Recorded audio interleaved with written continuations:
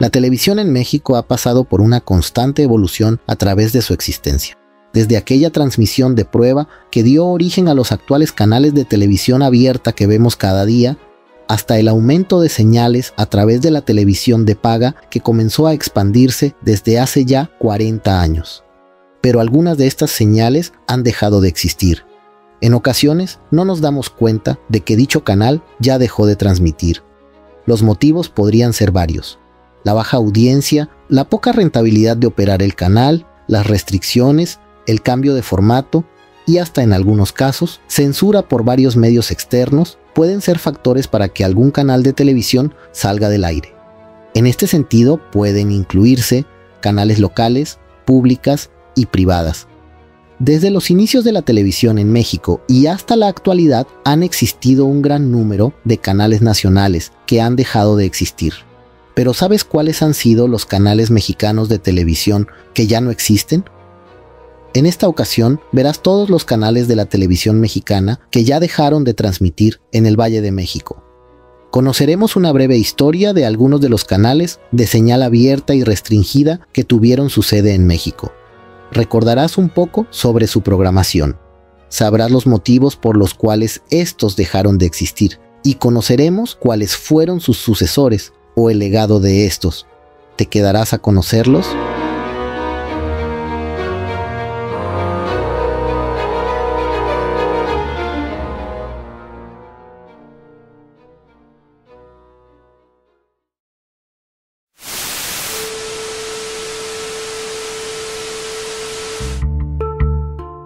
X E1GC.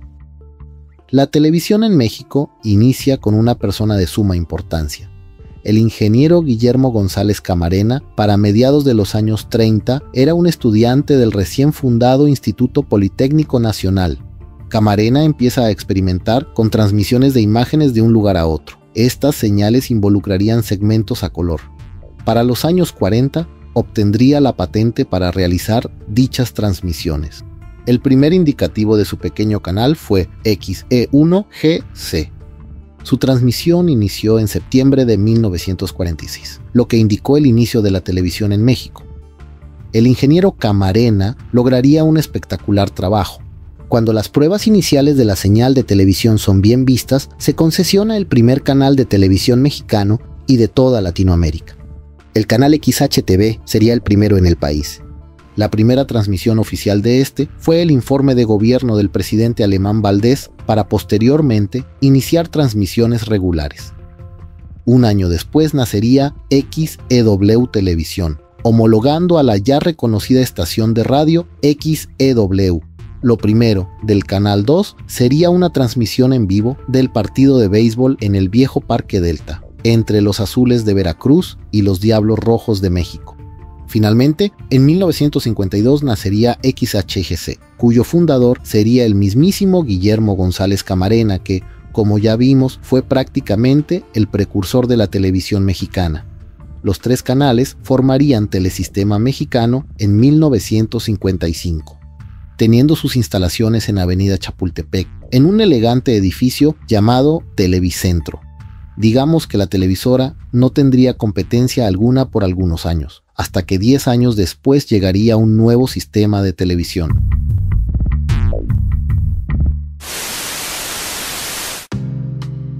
Televisión Independiente de México. Telesistema Mexicano ya había iniciado en el mundo de la televisión, pero no tendría competencia hasta mitad de los 60. La cadena TIM iniciaría transmisiones en el año 1965 en la ciudad de Monterrey. Y así fue su constante crecimiento a lo largo de más de cinco años. El dueño de la cadena TIM, Bernardo Garza Sada, solicita a la hoy Secretaría de Comunicaciones y Transportes la concesión para operar un canal en la Ciudad de México con motivo de los Juegos Olímpicos que se llevarían a cabo en dicha ciudad. En 1968 es cuando se le otorga esta concesión y así nace finalmente el Canal 8, su canal nuevo se instalaría en los estudios San Ángel, donde antes se utilizaban con fines cinematográficos. A Telesistema Mexicano no le gustó la idea de una nueva competencia. Inmediatamente comenzó una guerra entre la cadena Team y Telesistema Mexicano. Team produjo programas célebres con personajes que apenas iban conociéndose, como Juan Pirulero, Los Supergenios de la Mesa Cuadrada, Los Polivoces, Ensalada de Locos, Los Beverly de Peralvillo y El Chavo del Ocho, los cuales muchos de estos serían la base para los futuros programas de Televisa, lo que hizo que el Canal 8 generara rating y popularidad por su contenido humorístico. Pero bajo las presiones del gobierno mexicano, que aún para entonces era aliado de Telesistema Mexicano, así como problemas económicos, orillaron a que Garza Sada a ceder el Canal 8 a su competidor, naciendo para 1973 el Televisa que hoy conocemos. Pero esta llamada fusión generaría controversia. Eugenio Garza Sada es asesinado meses después de la dichosa fusión entre ambos medios. El presidente Luis Echeverría sería señalado como presunto culpable, y el silencioso nacimiento de Televisa han generado dudas que hasta ahora nadie, absolutamente nadie, ha podido resolver. Televisa obtiene el 8 para convertirlo en uno de sus canales. Su programación siempre fue cultural y político. Hasta 1985, año en el que la red 7 de la empresa de televisión gubernamental entraría en operaciones, haría que el canal 8 desapareciera definitivamente, debido a que esta frecuencia se movería al canal 9, lo que actualmente conocemos como el 9.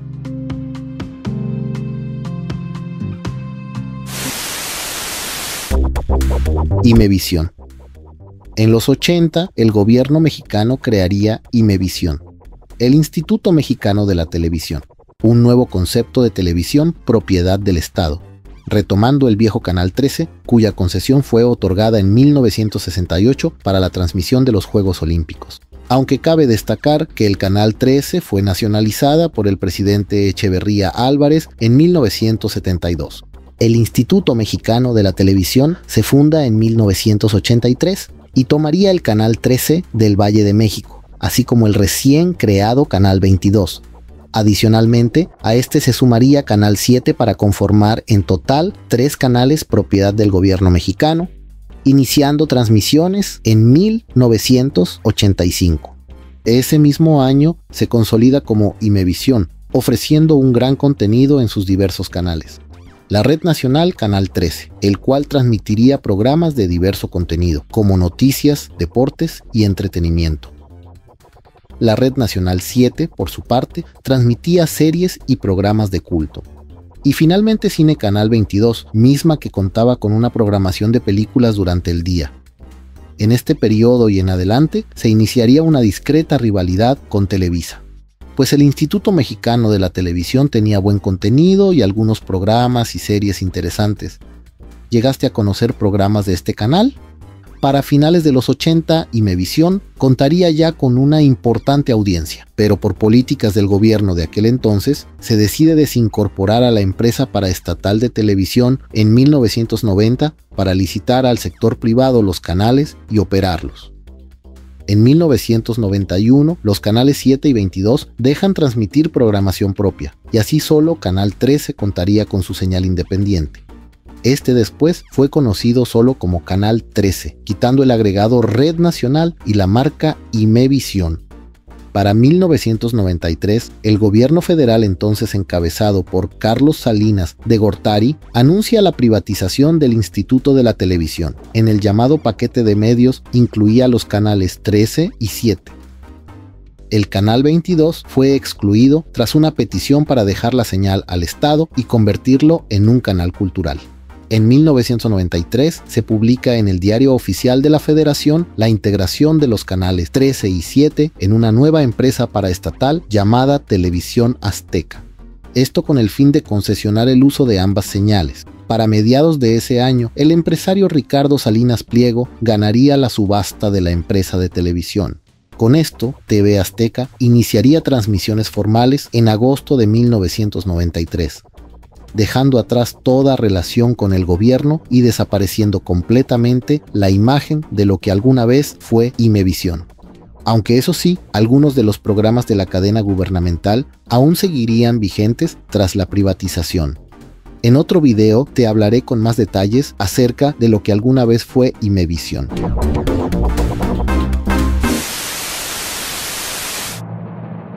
Empresa de comunicaciones orbitales.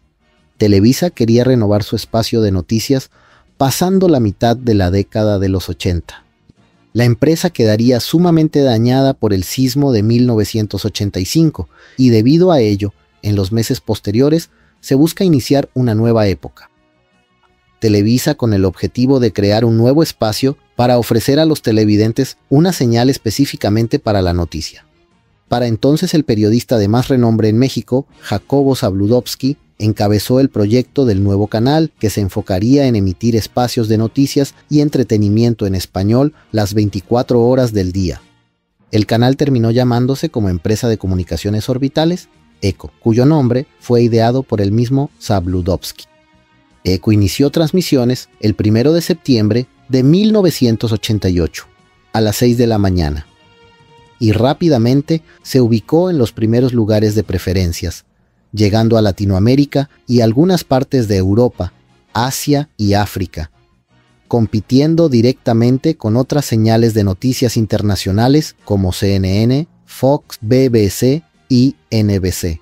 En México la distribución de ECO fue a través de la señal de paga, pero en ocasiones también tuvo presencia en la televisión abierta, apareciendo en algunos de los canales de la empresa como pequeñas notas informativas.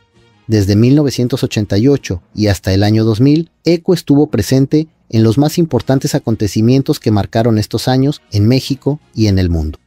Pero a medida que pasaban los años, la señal perdió audiencia, por lo cual, en mayo de 2001, se decide por concluir sus transmisiones en la señal de paga, terminando con la señal de noticias más importante que haya tenido la televisión mexicana, pues ECO formó a varios de los periodistas que hoy día han destacado por su trayectoria.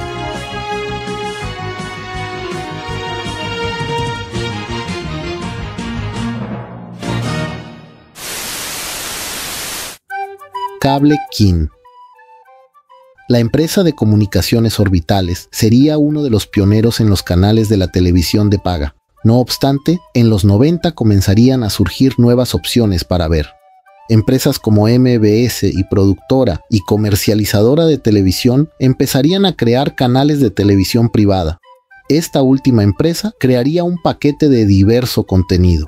El famoso TBC comenzaría transmisiones, así como sus canales hermanos de películas. La PCTV crearía para 1995 el segundo canal infantil de México.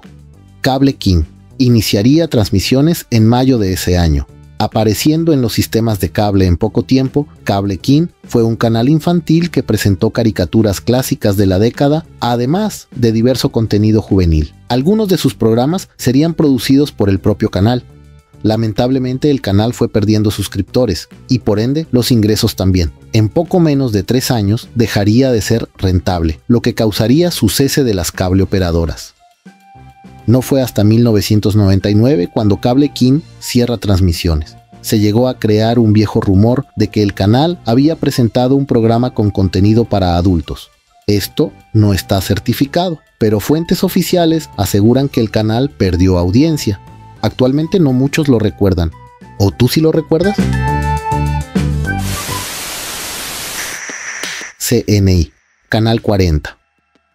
En los años que la televisión de cable crecía, también en la televisión abierta se otorgaban nuevas concesiones para iniciar nuevos conceptos de canales públicos de televisión.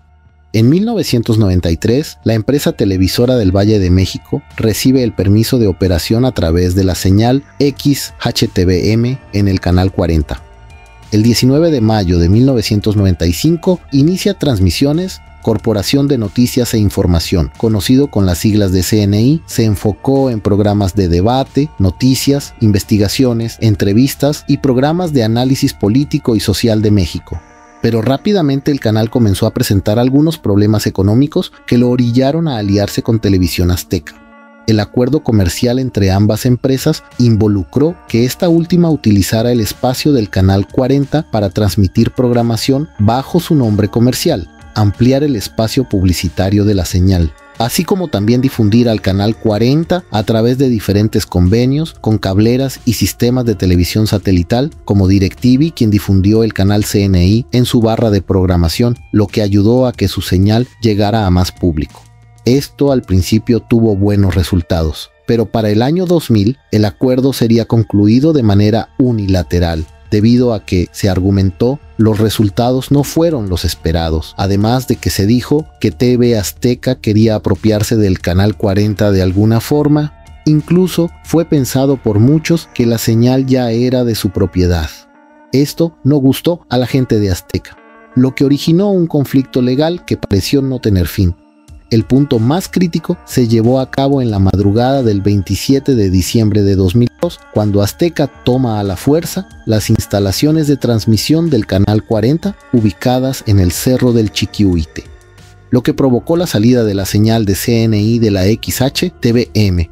Durante un mes en el que duró la toma del canal, se llevaron a cabo diversas manifestaciones que terminó en el aseguramiento de la planta transmisora de parte de la Secretaría de Comunicaciones y Transportes, para que, finalmente, la señal en televisión sería regresada a CNI el 27 de enero de 2023. Aunque el conflicto aún no había llegado a su fin, CNI volvería a sus inicios a partir de ese acontecimiento, tras una aparente sanación de cuentas y borrón y cuenta nueva, los programas que caracterizaron al canal volverían. Aunque dicha batalla legal dejó como secuelas una gran crisis económica que orilló a que los trabajadores del canal fueran a huelga y dejaran de transmitir la señal a través del canal. CNI saldría del aire de manera silenciosa en mayo de 2005 hasta un año después, cuando discretamente Azteca volvería a tomar el canal, ahora de manera legal, y lo renombraría como Proyecto 40.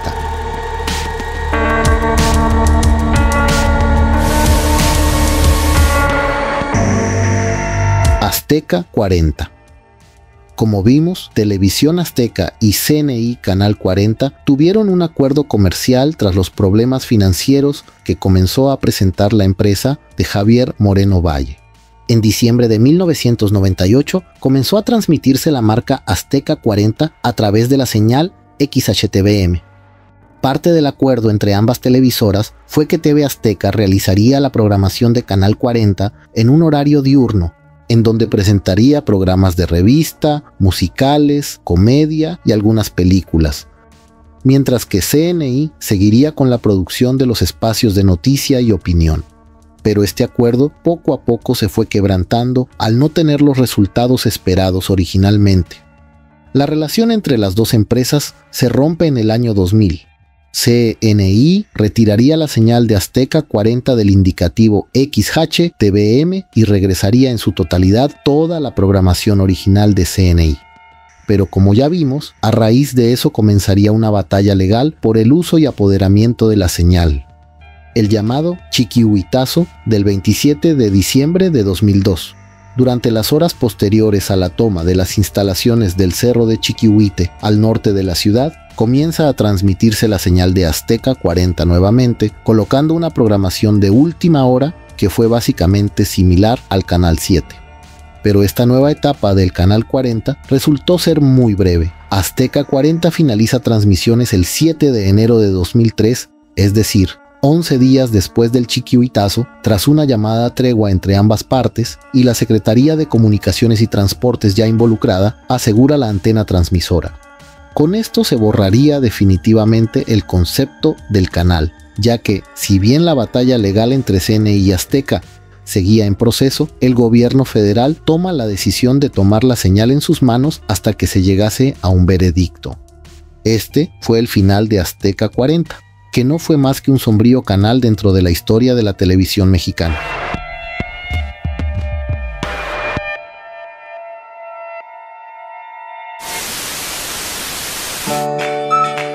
Ponchivisión.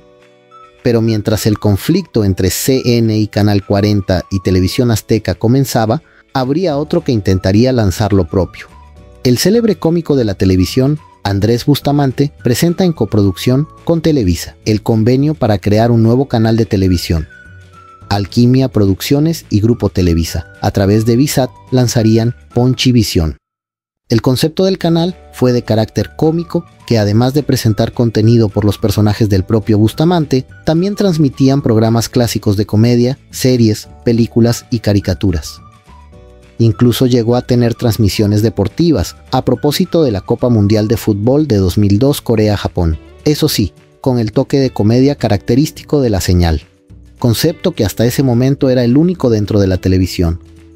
Inició transmisiones el 19 de noviembre de 2001 en la actualmente extinta cable operadora, Cablevisión, así como también a través de Sky, ambas filiales de Televisa.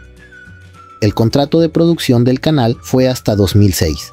No obstante, para 2003 se anunció de manera inesperada el cierre de transmisiones por lo que las señales de paga se vieron con la necesidad de retirar la señal de su barra de programación y en su lugar se reemplazó por el canal de las estrellas diferido dos horas. Ponchivisión cesaría transmisiones el 16 de mayo de 2003, con el argumento de que el rating no fue el esperado desde sus inicios y hasta el último día de existencia del canal. Esto bien pudo ser debido a que el canal fue de alguna manera exclusivo de los sistemas de cable afiliados a Televisa, por lo cual no tuvo mucha difusión.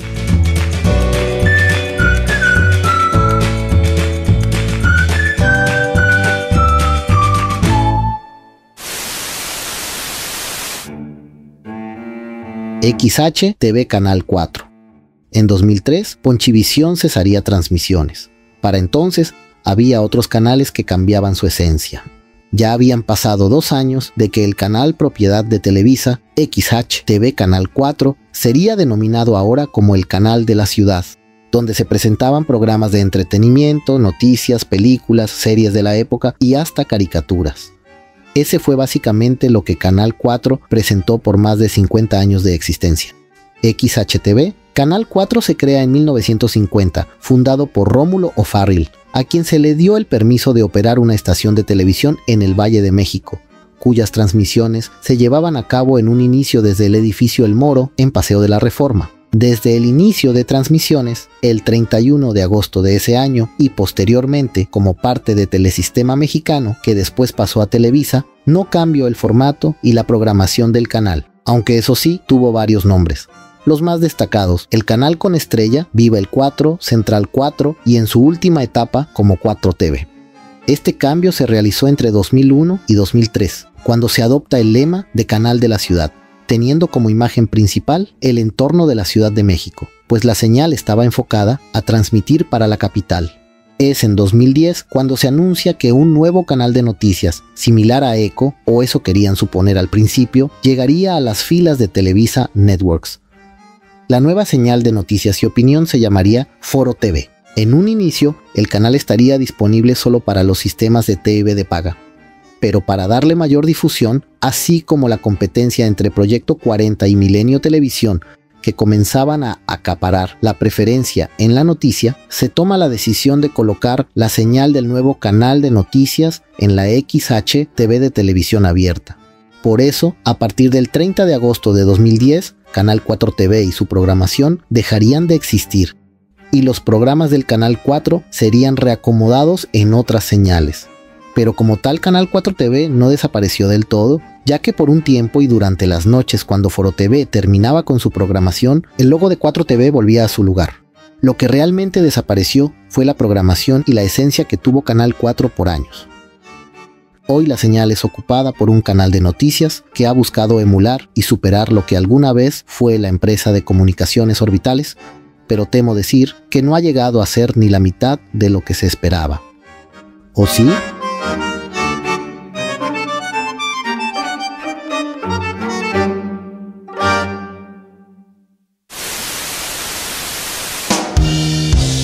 American Network Sabemos que Televisa es un gigante de la televisión en México. Ha operado diversos canales tanto para la televisión abierta como para la restringida.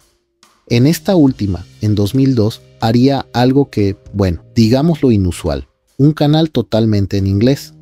American Network nacería como un proyecto diferente. No era más que la retransmisión de programas de cadenas estadounidenses como CBS Network, presentando su barra de programación 100% en inglés y sin subtítulos. creo que era un buen método para mejorar tu habla anglosajona.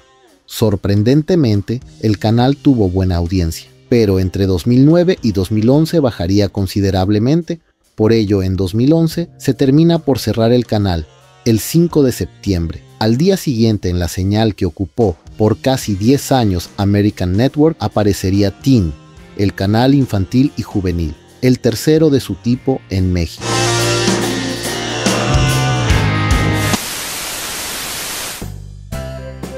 Clásico TV. Para 2007 Televisa Networks tenía en sus filas de programación el ya mencionado American Network y también existieron señales dedicados a la música, el cine, el espectáculo y las telenovelas, pero faltaba uno más. Aún no había una señal dedicada a la comedia. El fallido canal Ponchivisión dejó un gran sabor de boca, ya que se especuló mucho sobre esa señal donde transmitía programas de humor, y sabiendo que esta última ha producido un gran contenido humorístico a lo largo de su historia, era evidente que tenía bastante material que ofrecer. Pasarían cuatro años para que volviera un canal de este tipo a las pantallas de la televisión mexicana. En 2007 se anuncia Clásico TV, una señal donde pasarían los programas clásicos de la televisión mexicana producidos desde los 60, en los tiempos cuando aún eran Telesistema Mexicano y Televisión Independiente de México. Resulta ser que el canal Clásico TV fue uno de los que causó nostalgia en los últimos años. ¿Quién no daría por recordar programas cómicos de la época? Esto ayudó bastante a que su difusión a través de los sistemas de cable fuera más grande. En un inicio, su programación fue dedicada a transmitir programas de los 60, 70 y 80, pero con el tiempo fueron agregando comedias de los años 90 y finalmente del año 2000 en adelante. Esto hizo que los programas clásicos fueran desplazados poco a poco, por eso mismo, se decide renombrar la señal a Distrito Comedia en octubre de 2012. Actualmente dicho canal sigue vigente, pero ya no transmiten programas de comedia de aquellos años. Clásico TV fue una excelente idea, pero lamentablemente no hubo interés de parte de los directivos para mantenerlo.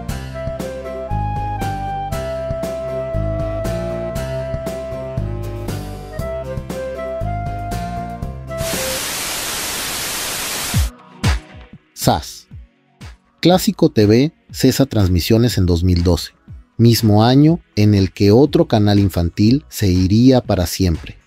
MBS comenzaría su camino a la televisión restringida a finales de los 80, cuando este lanza al mercado MBS Multivisión. En él se presentaban canales propios de la empresa, enfocados a varios temas, cine, series, noticias, música e infantil, para los niños, MBS crearía SAS, entrando al aire el 1 de octubre de 1991. SAS incluiría programación infantil y juvenil, caricaturas y series cómicas.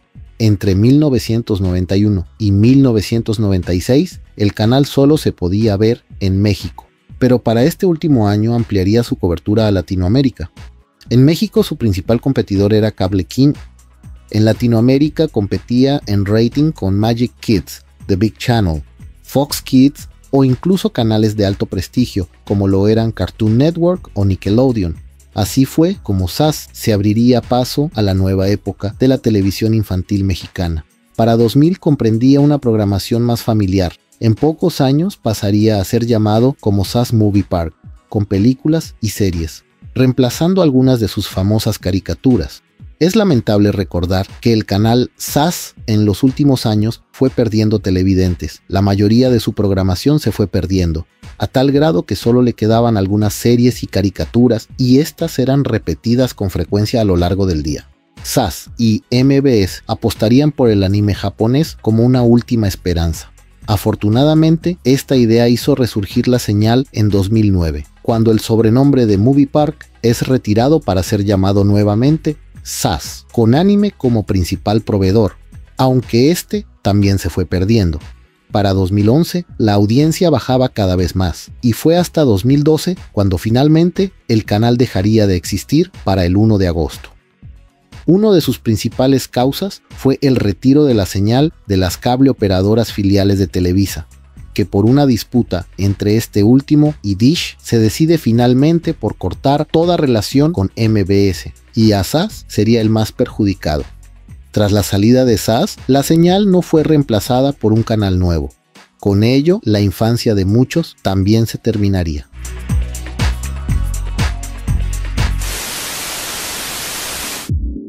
Viva Sports.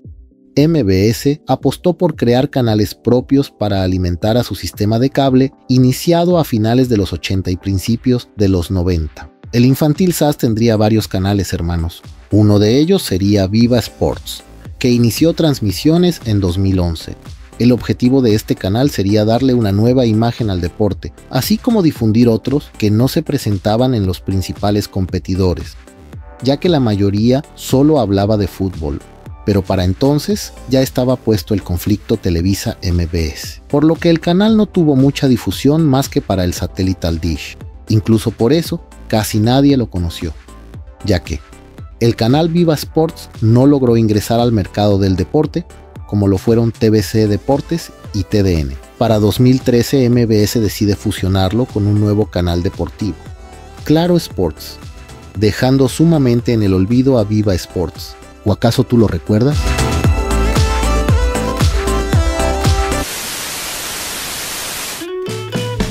Cadena 3. Tal vez Viva Sports no tuvo mucha suerte, pero hay otros que iniciaron y desde un principio la tuvieron. Tal fue el caso de Cadena 3. En mayo de 2007 iniciarían transmisiones de la mano de Grupo Imagen a través del canal 28, que más adelante conoceremos un poco su historia. El propósito de Cadena 3 fue convertirse en la tercera cadena de televisión de México, detrás de Televisa y Televisión Azteca. Inmediatamente el canal adquiriría popularidad, pues su programación contó con mucha similitud a los otros canales de televisión abierta. La difusión del canal fue a través de sistemas de cable y en el satelital Sky, por ello su audiencia fue notable. Durante ese tiempo comenzó enfocándose cada vez más en alimentar su barra de programación con series y telenovelas extranjeras, deportes como box y lucha libre, así como programas de noticias, espectáculos, entretenimiento en general. A pesar de ser una buena opción, este nunca logró consolidarse como una cadena nacional de televisión nacional debido a que nunca cubrió en su totalidad el territorio mexicano, salvo a través de la señal de paga. Pero eso no fue la razón de su cese de transmisiones.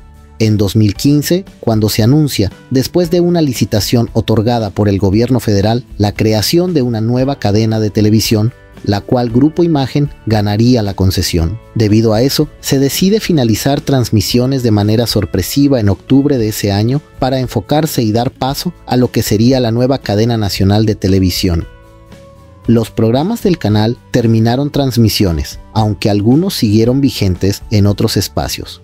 Al terminar sus transmisiones, la señal sería ocupada por el canal de noticias Excelsior TV. Un año después, comienza el proyecto de Imagen Televisión, adoptando un 90% de lo que fue alguna vez Cadena 3. Parece ser que Grupo Imagen tuvo como objetivo traer una señal de televisión por mucho tiempo, pero este no fue el único. Más adelante conoceremos uno más.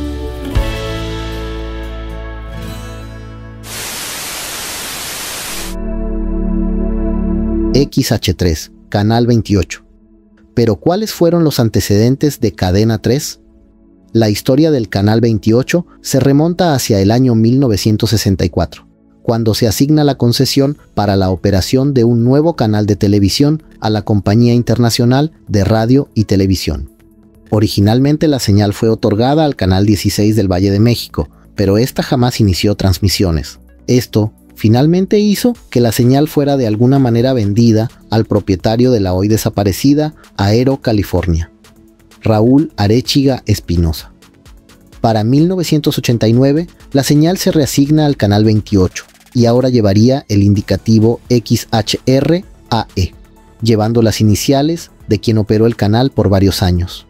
Arechiga operó el Canal 28 por varios años más, bajo el lema de Televisión para Todos, y con una limitada programación en la que en su mayoría fueron videos musicales, aunque posteriormente firmó alianza con la PCTV, por lo que así algunos programas de TVC se transmitirían en el Canal 28. Sin embargo, Arechiga tuvo que vender la concesión del canal debido a que en ese tiempo tuvo que atender algunos problemas que presentó Aero California. Con eso, la señal llegó a manos de Grupo Imagen y como ya vimos anteriormente, pasó a llamarse Cadenatres. Posteriormente, y ya con las siglas XH3, las transmisiones también pasaron por una transición. Después del cierre de Cadenatres, en el canal 28 se transmitió Excelsior TV, canal de noticias las 24 horas del día. En 2020, con una alianza de Imagen y Grupo Andrade, propietario de El Heraldo de México, entraría el canal Heraldo TV a través del canal 28.1, pero al final la concesión del canal finalizó debido al incumplimiento en la prórroga de uso de la señal.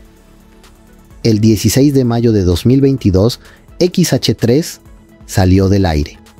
Por cierto, el canal virtual cambió en 2020, pasando del 28.1 al 10.1.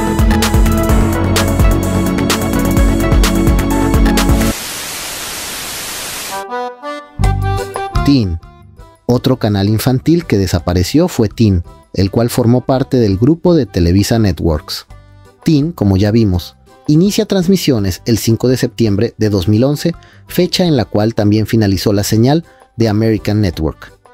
En este canal dedicado a los niños y jóvenes pasaron de inicio caricaturas y series animadas, además de contenido propio y otros programas creados por Televisa. Aunque con el tiempo el canal dio un giro a su programación, pues ahora pasarían también películas familiares, programas y telenovelas juveniles. Eso hizo que dejaran poco a poco las caricaturas que comenzaron con el canal. Para algunos tal vez ese canal fue parte de la infancia, y eso hace que hoy sea muy recordado. Para 2018, la crisis por la que atravesó la cadena hizo que se perdieran los derechos de transmisión de varios programas y en sus últimos meses solo se limitaron a transmitir las telenovelas infantiles y juveniles durante el día. Al final, tras una baja considerable de audiencia, el grupo inicia el proyecto para reemplazar a Teen con un nuevo canal juvenil ahora enfocado en el mundo gamer, otaku y geek. Es así, como el 14 de julio de 2019, Team cesa transmisiones a primera hora para dar paso al nuevo concepto, BitMe.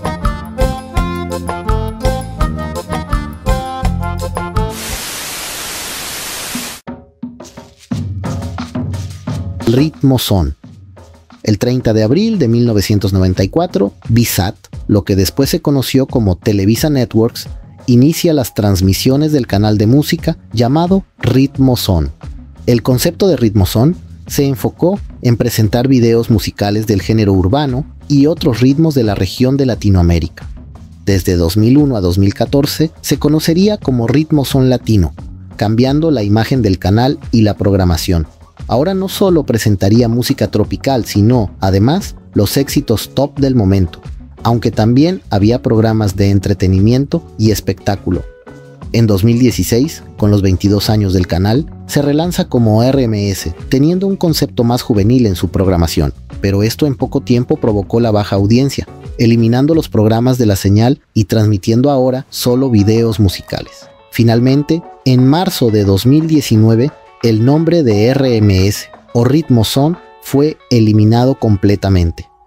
Primeramente fue conocido como Telehit Urbano, presentando de inicio videos musicales del género urbano y trap. Un año después, se renombra a Telehit Música, donde ahora la señal sería dedicada a más géneros musicales, siendo un complemento del canal principal en ese momento.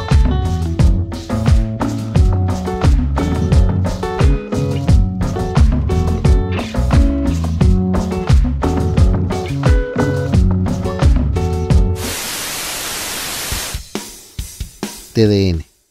Como vemos, Televisa Network ya contaba para 2009 con un gran catálogo de canales como el ya mencionado Telehit, los canales con programación de películas y de entretenimiento.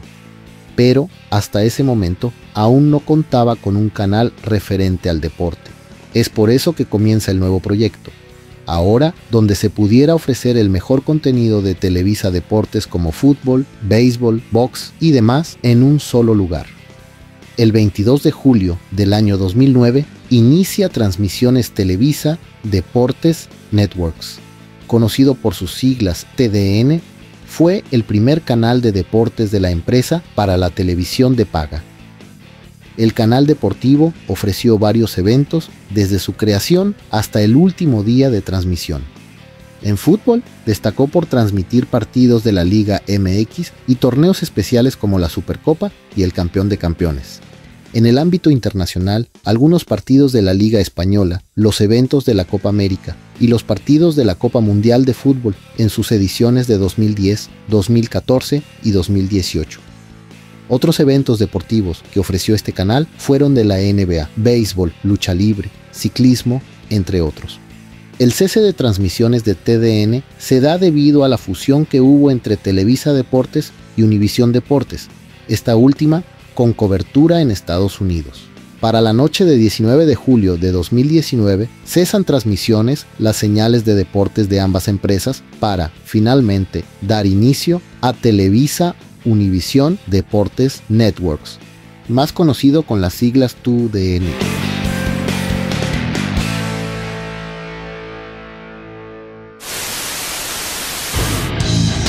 UFC Network. Pero, además de TDN, otro canal deportivo que ofreció Televisa en su lista de canales de pago fue UFC Network. La Ultimate Fighting Championship, mediante un convenio con la empresa mexicana, lanzaron el canal UFC Network el 1 de septiembre de 2013. En un inicio, la señal fue ofrecida de manera independiente, es decir, se agregaba a la barra de canales con un costo extra, el canal ofrecería programación única y exclusivamente referente a eventos de la UFC. Pero repentinamente Televisa anuncia el cambio de nombre en abril de 2017 y pasaría a ser Fighting Sports Network, al haber cambios en el convenio entre ambas marcas. Con este cambio, el canal comenzó a ofrecer otros eventos de lucha de marcas ajenas a la UFC, aunque las transmisiones en vivo solo estaban disponibles para México. Así permaneció por dos años, ya que el acuerdo con la UFC fue por 10 años, aunque posteriormente el contrato se redujo a 5, es decir, en 2018 por lo cual el 1 de enero de 2019 la señal cambiaría nuevamente de aire y de nombre. Adrenalina Sports Network, el nuevo canal deportivo, sería dedicado a programas y eventos deportivos extremos.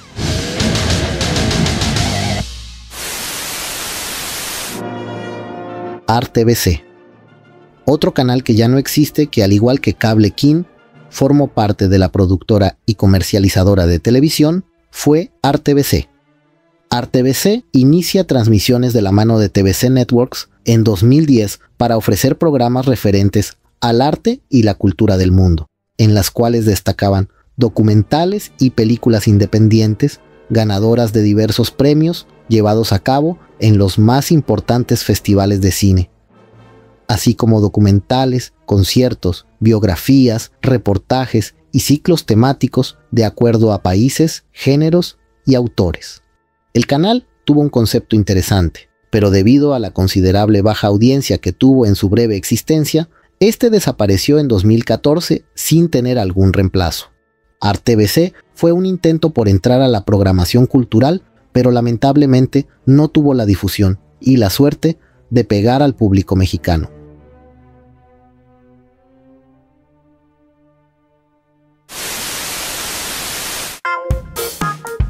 TVC. Mientras ArTVC se encaminó al fracaso, la señal principal TVC fue la más vista e importante de la PCTV desde su existencia colocándose como un canal posicionado en la preferencia de los televidentes de los sistemas de paga. Era un canal dedicado a la producción y emisión de diversa variedad, programas de revista, películas clásicas, series, telenovelas, caricaturas y noticias. TVC nace en 1989 con el nombre de PCTV Supercanal, de igual manera ofreciendo el mismo contenido que perduró hasta sus últimos días.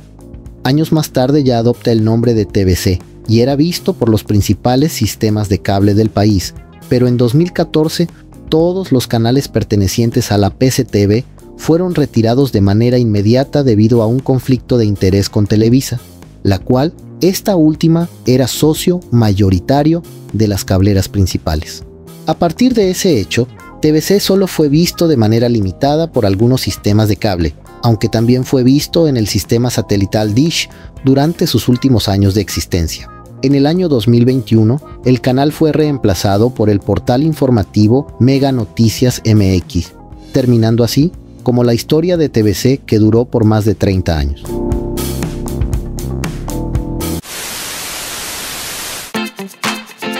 CJ Grand Shopping. Mientras el problema de las cableras y la PCTV seguía, Televisa por su parte trajo a México el conglomerado surcoreano CJ Grand. Esto significaba que, tras esta alianza, traer un nuevo canal de televisión de infomerciales las 24 horas de la empresa asiática.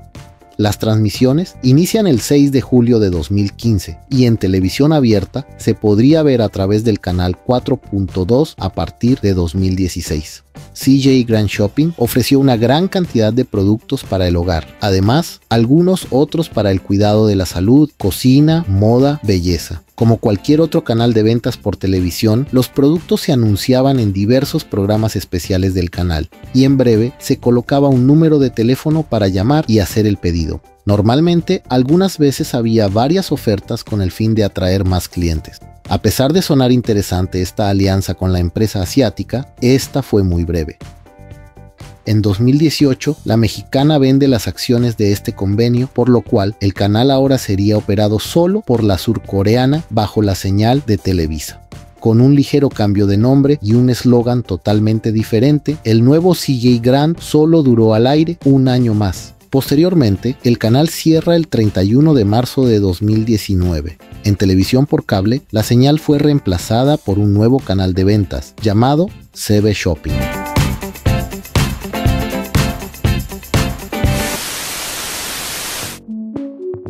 Haz Noticias. Azteca Networks, empresa filial de TV Azteca, creó en 2010 un canal dedicado a la noticia y al debate. Un espacio en donde se presentarían programas de análisis de opinión las 24 horas, además de ampliar la cobertura de la imagen de noticias de la empresa. Azteca Noticias inicia transmisiones en el mismo año que se crea Foro TV de Televisa, aunque este sí logró colocarse, como ya vimos, en televisión abierta. Por su parte, Azteca Noticias fue distribuida principalmente en Latinoamérica, aunque también llegó a algunas partes de Europa. Bajo ese nombre se conoció hasta 2014. Ese año, Azteca Networks se fusiona con la distribuidora de contenidos Azteca Internacional para crear AzTV de paga. Lo primero que sucede con esta creación es el lanzamiento de nuevos canales de paga de Azteca además del relanzamiento de la señal de noticias. Ahora se llamaría Haz Noticias. Cabe señalar que en un principio ese canal y otras señales de paga de la empresa no se encontraban disponibles en sistemas de cable y satelital. Más adelante, los canales de televisión restringida de Azteca se pudieron ver a través del sistema Total Play, lo que significó que Haz Noticias y las demás señales tuvieran un aumento en la preferencia. Pero, aunque ya tuvieron mayor difusión, la empresa decide sacar del aire el canal de noticias de Azteca, terminando sus transmisiones de manera discreta a inicios de 2017. Mientras tanto, las demás señales de TV Azteca Internacional TV de paga como hoy se conoce, siguen vigentes y distribuidos por Total Play.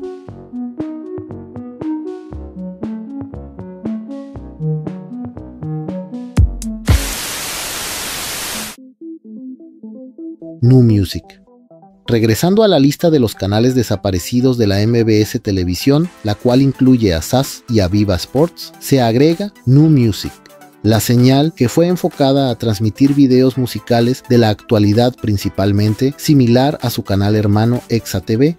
De hecho, New Music reemplazó la señal de EXA en la distribución de Latinoamérica desde el 12 de febrero de 2015 al ser de MBS, en México estaría disponible por el sistema satelital Dish.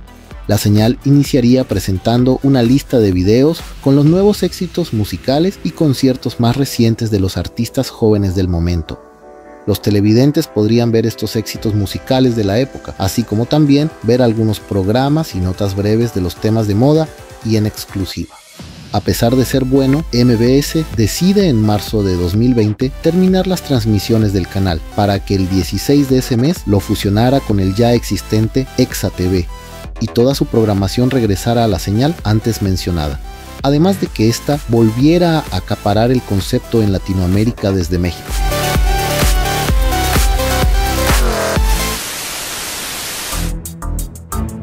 La Octava TV. Este canal nace el 31 de octubre de 2019 a través de la señal 8.1 de la televisión abierta. La Octava TV perteneció al grupo Radio Centro, quien ganó la concesión para operar el canal en la Ciudad de México y la zona metropolitana. En 2017 se le asigna a Francisco de Jesús Aguirre Gómez la concesión de la estación XHFMX. Tras algunas situaciones y complicaciones, finalmente la señal entraría al aire dos años después, para ofrecer de inicio una programación de noticias, cuyos espacios estuvieron bajo la imagen de personalidades ya conocidos. El primer programa presentado fue La Octava Luna, donde además de la noticia se presentarían mesas de análisis político y social del México actual. Con eso comenzó a posicionarse dentro de la preferencia del público en su ramo, Tiempo después, el canal realizó un cambio en su programación. Además de las noticias, también se incluyeron programas de música y espectáculos, así como películas del Instituto Mexicano de Cinematografía. Pero esta señal ya tenía sus días contados. A pesar de que la octava televisión comenzó transmisiones con una aceptación considerable, esta fue decayendo con el tiempo, la salida de conductores y personajes importantes del medio, así como la controversia que llegó a generar debido a la inclinación política de los espacios de opinión, agregando además una crisis financiera que obligó a Grupo Radio Centro a ofrecer el canal a otras señales. Al final, una llamada alianza estratégica con Heraldo Media Group tuvo como fin la cesión de la XHFAMX a este último para convertirlo en Heraldo Televisión después de haber perdido la señal de XH3, que como vimos terminó sus transmisiones tras la pérdida de la concesión. En conclusión, la octava televisión finalizó su señal principal el 12 de junio de 2022.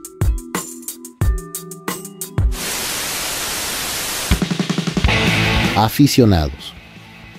Este canal que fue exclusivo del sistema de cable Easy ofreció un gran contenido deportivo, además de eventos exclusivos, principalmente de fútbol y fútbol americano. Aficionados nació como una nueva propuesta para este sistema de canales perteneciente a Televisa, el 1 de julio de 2018. Para atraer más clientes, el canal deportivo transmitió en exclusiva los partidos de local de los clubes Tigres, Atlas y posteriormente Guadalajara de la Liga MX. Por lo cual, si algún aficionado quisiera ver los juegos de estos equipos, tendrían que contratar el canal, aunque normalmente este venía dentro de la oferta ofrecida por la empresa. Pero el canal terminó por desaparecer en abril de 2024. Los motivos fueron debido a que el contenido que ofreció en sus últimos meses fue disminuyendo algunos de los equipos de la liga ya no renovarían los derechos de transmisión con la televisora, además de la baja rentabilidad y la apuesta por ofrecer todo el contenido deportivo en la nueva plataforma streaming VIX fueron los factores para la desaparición de aficionados. El canal que nació para ofrecer contenido deportivo exclusivo en una época donde los servicios de streaming dominaban ya el mercado.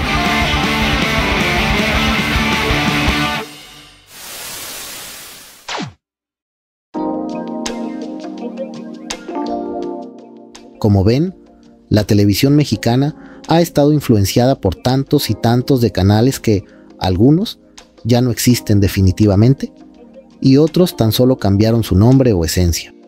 La mayoría de estos canales que ya no existen se debe a su bajo rating o su poca rentabilidad.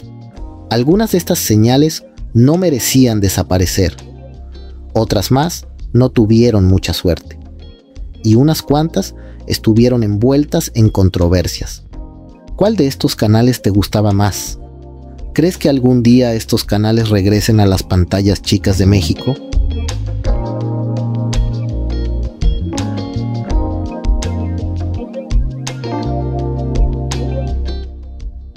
Saludos muy especiales para los queridos miembros de este canal. Fausto Rivadavia, Julio Rodríguez, Ulises Manzano, Ibuki Osirio, Laura SM, Redovilian, Iván Holguín, Francisco Orb Martínez, Neo Artur y Eduardo Cortés López. ¿Te gustaría formar parte de esta gran comunidad? Te dejaré la liga en la descripción y a cambio obtén beneficios interesantes. Muchas gracias por tu apoyo.